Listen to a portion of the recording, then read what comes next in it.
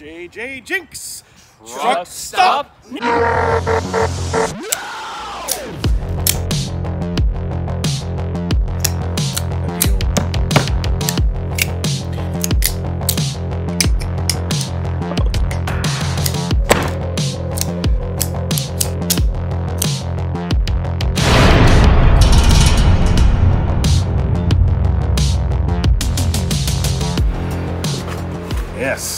it is time for the September Smoky Mountain Knife Works General's Box.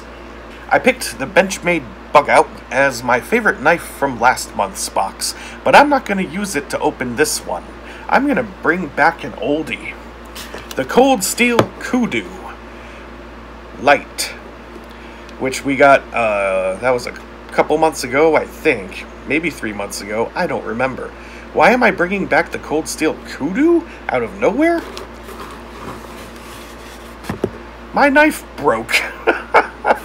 I was, um, you know, getting ready to make a video about the uh, Okapi Kudu, uh, you know, this type of knife.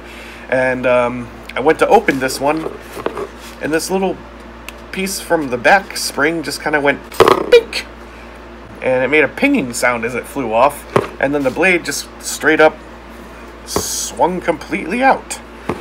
Hmm. Cold steel can make shitty knives too. well, I guess the nice thing is now you know what it looks like to open the cold steel kudu smoothly. And when you hold it kind of at its apex there, you can see how far this piece of metal has to spring, and uh, it just couldn't handle it and broke right at the fulcrum. This is not the first time this has happened. I've seen photos of this happening online, and that's what you get for eight bucks. But um, it's okay because I have another one. I don't know what I'm going to do with this one. I wanted to use it for this unboxing, just to give it a proper goodbye. Maybe I'll send the blade out to Tristan Barnett. Maybe he can make something cool out of it. Uh, I don't know. This is going to be difficult because there's nothing holding the blade up.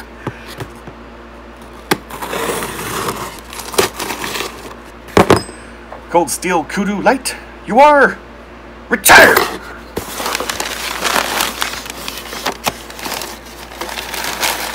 There's your sneak preview. Now you gotta do it the hard way. Ah, I recognized this brand just by the color.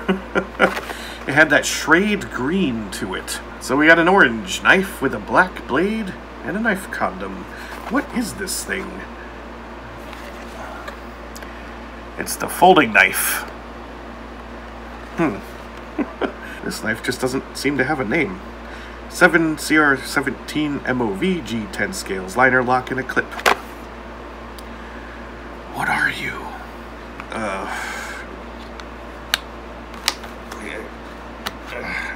hey, that actually worked. I was kind of worried for a moment.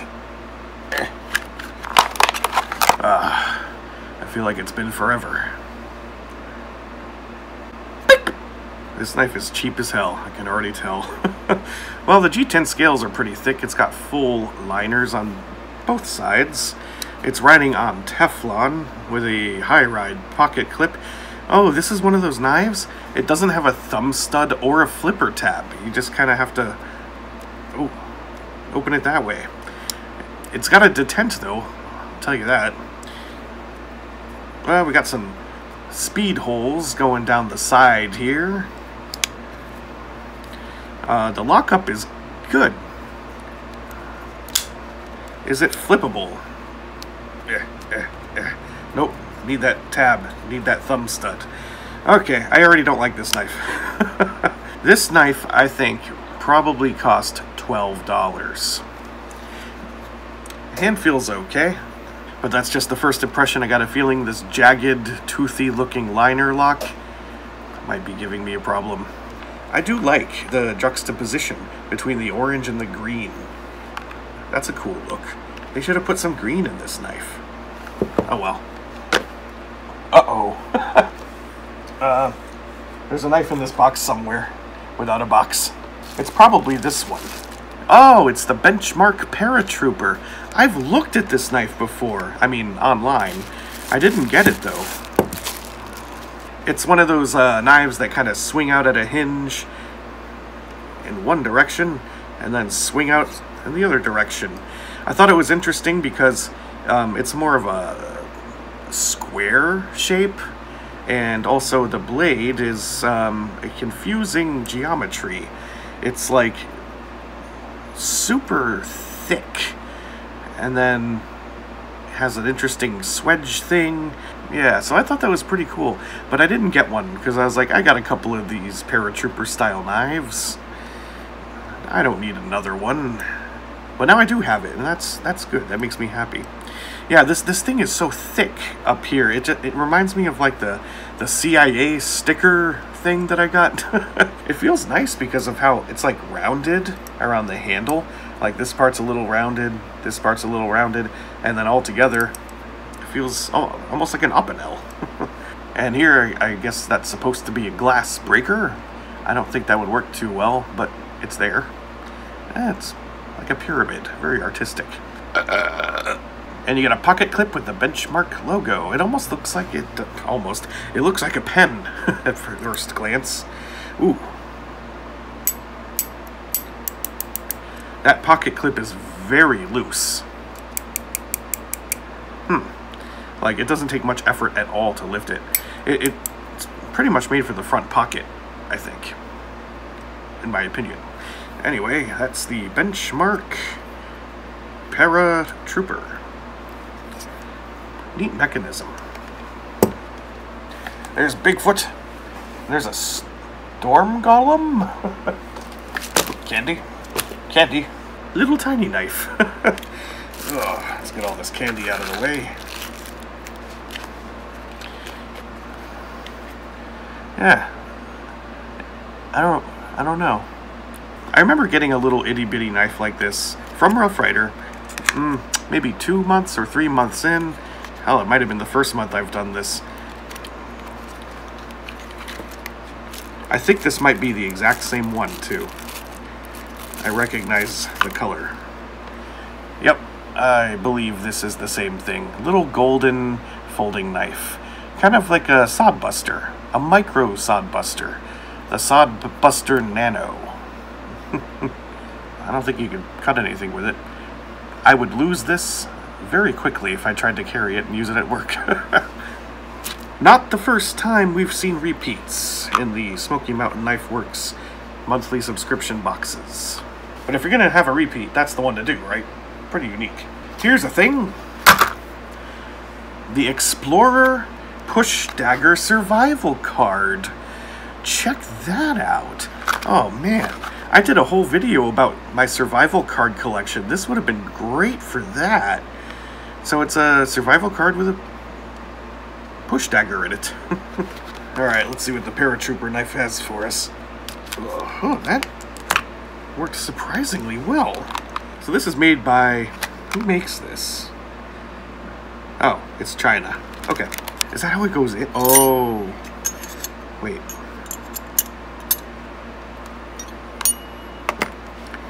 Hold on. Ah, never mind. I thought like the magnets held it in, but no, it's just so you can slap this onto your refrigerator so you can be ready to use it at a moment's notice. The stainless steel card is about the size of a business card. Wait. Um, about. I do like the phallic look to this thing. That alone is worth it. The push dagger has an oval hole in it and a cutout in the handle for weight reduction. I'm not huge into push daggers. I'm not into them at all, in fact. But I've never seen a push dagger come out of a survival card. It's like a jigsaw puzzle. I really like this. I'm definitely going to stick it to something to see what that's like, but what else do we have? Oh, we got like a protractor thingy with a couple of notches. And you got a ruler, uh, hex wrench things. Yeah, it's your usual kind of semi-useless things that you commonly see in these survival cards. But this, you don't commonly see. Wow. A pocket sharpener with 600 grit and ceramic rods. This item is branded Smoky Mountain Knife Works. Let's see what this is.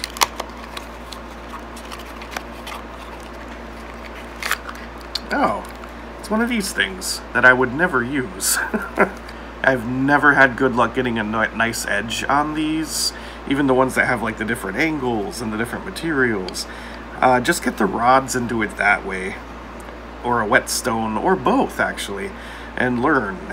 It takes a lot of practice, but you'll get there eventually. I'm still learning myself.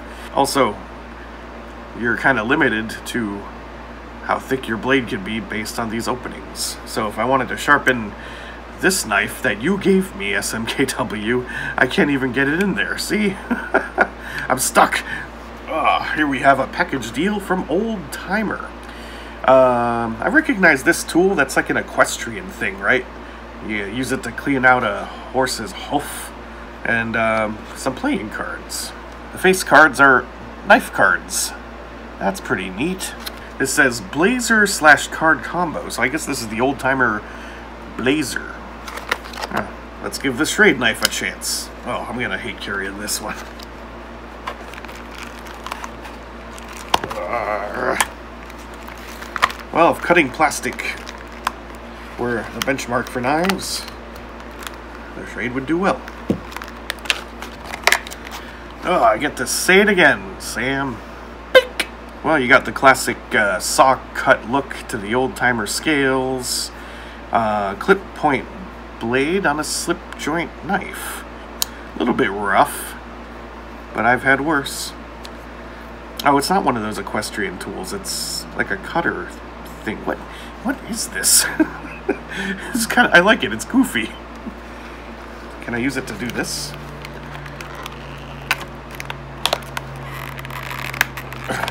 Not really. I don't know what to do with the blazer. This is really strange. I thought it was the hoof cleaner. Maybe it is, and I just not recognizing it. Huh. Well, one thing I don't like is the way it leaves that gap when you close it. Um, it's just a little goofy looking. It's alright. Let's use it to cut open the, its cards. Hey, that cut really well, actually. Good job, Old Timer. Old Timer's owned by Schrade, right? Well, I kind of want to keep this closed. Um, let's have a look on the back of the package of what these knives are. Do they tell you the knife? They do. The Ace of Knives is a pro hunter. The King of Knives is a wrangler. The Queen of Knives is a copperhead little finger. The Jack of Knives is a dog leg jack. I don't think the Ten of Knives were a face card in, you know, real cards, but whatever. The Ten of Knives is a... I can't read that. I think it says Bearhead Trapper. Bearhead? Well, I'm not going to correct myself. That's a good name for it. The Bearhead Trapper. I've recently taken a big liking to Cold Steel you know, despite the Kudu incident, I can forgive them for that. So here's one from Cold Steel, the Luzon. You know what's funny is I was actually looking at this knife and I almost bought it last week while I was on the road. I chose not to. A strange voice in my head said, JJ Jinks, don't buy the Luzon. I think that voice was from the knife gods. Telling me that I was about to get one anyway. anyway, I got a good feeling about Cold Steel. I think that they are going to go in great directions. It's just a feeling. And uh, the last time I had a feeling about Cold Steel, a good thing happened. See? It's Providence. So the Luzon is a liner-locked knife with a very, very shiny blade um, I don't remember the name of Cold Steel's plastic. They don't call it plastic. They call it something else, but it's plastic. Uh, check out that pocket clip. It's an all polymer pocket clip. uh, bolted into the side of the scale, and it's thick as hell. I don't know how that is going to work, but I'm really interested to find out. And you got a huge, you got a very long back spacer too, contoured to these uh, grooves in the back. So that's neat. I love how shiny the blade is. That is handsome as hell. It's a long, slender clip point with one of those grooves punched into it. That feels like bearings. It looks like bearings. I think this knife is riding on bearings. What is this switch? I don't remember that being on it. That's got to be a safety, right? It's not going. hmm. Well, you got thumb studs too, but they're so close to the scales and close to the pivot that it's got that CRKT uh, CEO problem. But, uh, oh, now the switch goes. Oh, I see. It locks the liner lock. So it sort of turns it into a pseudo fixed blade. I've seen that kind of thing before. Not from Cold Steel, though. But then again, I don't own too many Cold Steel knives. And they did one of the most important things to me. They put the name of the knife on the blade, because I forget all the time what these are called. I've got a feeling I'm going to really, really like carrying the Luzon. Uh, I found this box. It's rather square. Uh, it says MKM Climb the Edge. And there's a circle on it with orange in it. I have no idea what this is. I'm just going to open it and we'll all be surprised. Uh, how do I open it? Uh, there we go. Oh, it's a knife. I'm not familiar with MKM. But it comes with a tool. I appreciate that. Not many knives do that. I know um, Microtech does it. Uh, what uh, what's that company? Western Active does it. Uh, there are people who do it, and I guess MKM uh, does it. We got some pretty comfy foam padding everything.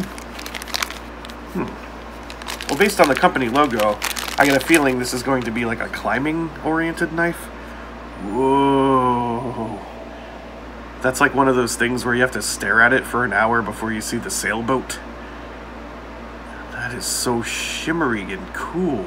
Well, we have a very large slot, so you can clip this to things or carabine it to things, but it itself is not a carabiner.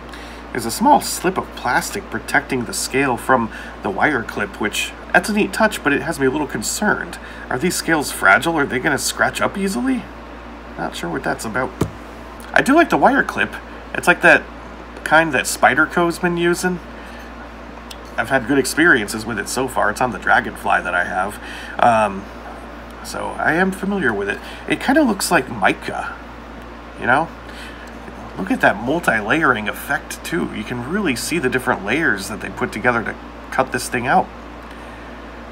It's kind of a shame that they didn't do any jigging or anything to it to really make that effect pop. Kind of like the decorative scale piece on the CRKT fossil. Uh, this says M390. That's a pretty good blade steel, or it's a pretty expensive one as far as I know. So this might be one of the more expensive knives even though it is small. Uh, it's a liner lock with recessed liners. That's one of my favorite features too. Feels like it should be sharp and it looks like it's on bearings as well. Huh. Well, I can open it one-handed. The liner is hard to access because there's no uh, real protrusion to gain purchase of it. That'll annoy me later. Let's learn more about MKM. Maniago knife makers, made in Maniago, Italy. Oh, excuse me. Maniago knife makers. Oh. Oh, here's all the other brands they're associated with. Fox Knives, heard of them. Lion Steel, heard of them. Mercury, I haven't heard of them actually. Hey, it's a Maniago. Well, now I love this knife. Wow. And we have a boxed knife that says Revo on it. Revo? Revo knives. Revok Nives. Revok Nives. That's like the, uh, the Roman pronunciation. Okay, and inside we got a sticker, I think. Yeah, it's like a decal deal. That's cool. I don't know anything about this brand, so I'll add that sticker to my collection of stickers. Uh, the next level, we have... I like this typeface. It kind of reminds me of the, uh, the numbers counting down and the Predator's bomb thing on his wrist. I don't know why. There's the Berserk. That's a neat look. Look at that compound grind on the blade there. That's neat. They make a canine karambit, a recoil, a vipera. A whole bunch of information that I am way too tired to read. Holy crap, they give you an entire script. I'll hold on to it in case I want to read it later. And here's the knife, which has a very phallic cutout. if I would just like left this open on my dining room table and my roommates walked in and saw it, I wonder how they would react. Magnetically shut too. Interesting. Well, the pocket clip is uh, a little different because it gets narrow down towards the end. Uh, it's a deep ride. The, the metal of the pocket clip is recessed. The screws, sadly, are not. What is going on with these back spacers? Not really sure what to make of this knife. Well, I can see it's got bearings in the pivot, that's for sure. These thumb things are interesting. They kind of remind me of um, flippers in a pinball machine. Know what I mean? you got, got this neat little cutout here leading up to the thumb flipper. It's a cool look. And you can swap the pocket clip to the other side if you want to. Hmm. Misfiring here. Well, needs to be broken in a little bit, I guess, or I just have to get used to it. Um, I'm overall kind of, it, it, it's rather ordinary, you know? Full steel liners on both sides, not recessed. Scales that feel like they could be G10 or perhaps FRN. They're basically the same thing to me. Satin stonewash finish. Don't know what kind of steel. I don't know anything about this knife. This is kind of it's it's it's not ugly, but yeah, I don't know. It's ordinary. For ooh, it's open assisted. I didn't even know that. Why why would you put pivots on an open assisted? Anyway, strange design choices for the uh, the Revo, the Revocnives. Fortunately, I have some confidential information for my eyes only. Here's the thing, though. I always like to try to guess which one of these is the, you know, higher level, uh, the higher tier knives. I have no idea with this one. I'm pretty sure the Schrade will be in the lowest tier, along with the itty bitty Rough Rider, probably the old timer, um, and probably this one too. I might be wrong about that, but pff, no idea. This is probably going to be in the generals level. You know what? Let's just find out. In the GI box, we've got the Schrade Model 1110, the orange liner lock. Notable features. Ambidextrous thumb studs? Eh? It says it right here. It's a manual folder with ambidextrous thumb studs textured orange polymer handles. Uh, this says no thumb studs. What the fuck? well, I was wrong on the price point. It's $8. Where are my thumb studs Schrade? Okay, and they're calling this one the Old Timer Trapper with Cards Combo. Uh, I guess the handle is shaped like a trapper. I ain't ever seen a trapper with one of these before, though. What's that about? High carbon stainless steel, black polymer handles, blah blah blah. Includes a 52 card deck. $9.99 for this and the cards. Okay, that's a pretty good price. And for $2.99 you get the sharpener that I'll never use. Uh, 600 for the coarse one. Uh, doesn't give any kind of number for the fine rods. It just says that uh, they're ceramic. $2.99. It weighs 0.64 ounces. And the Rough Riders, smallest of the small brass folder, $3.99. Oh, it's made out of brass? Huh.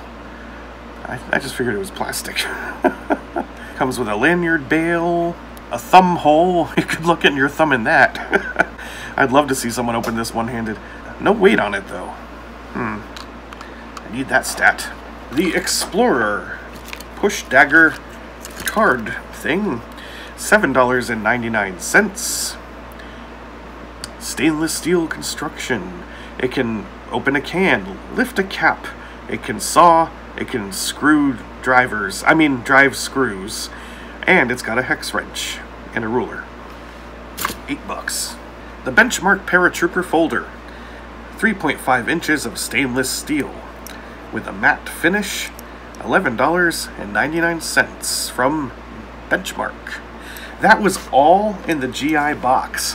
The officer's box gets two knives this month.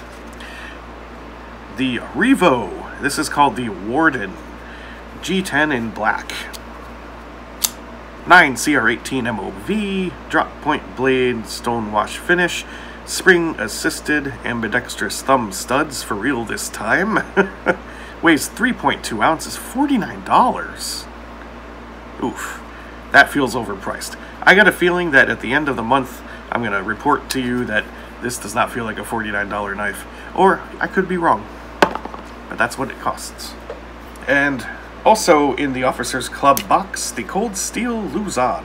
This is the medium-sized model. 8CR13 MOV steel. It's called a leaf spring lock folder. Glass-filled nylon handles. Yes, that's your FRN sort of stuff. Three and a half ounces, nine inches overall. It's big. $42.99.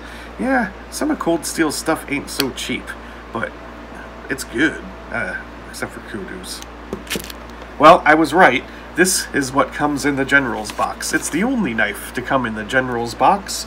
It is the MKM Isonzo SMKW exclusive fat carbon lava flow stonewash clip point. Okay, that sounds like a lot of things. So these are lava flow fat carbon handles. Okay, that's what they're called. Uh, the red aluminum spacer is anodized. So yeah, this is something you could go on an adventure into a volcano with. Fuck me! It's $132? Oh, mate. That ain't $132.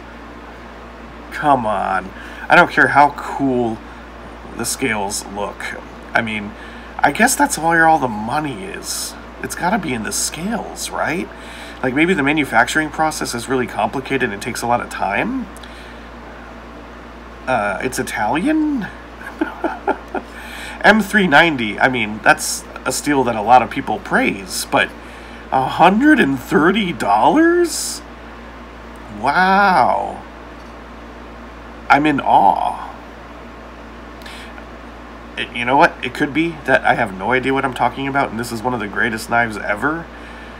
That's been known to happen. I'm still learning. but, jeez. I mean, it had to have been over a hundred just because it's in the general's box. But it still surprised the hell out of me. Well, now I am the most interested in carrying this knife over the next month. but it's going to have a lot of competition for pocket time because this month's box was just loaded with stuff. What a great thing to come home from a vacation to. Thank you, Smoky Mountain. There's the thumbnail.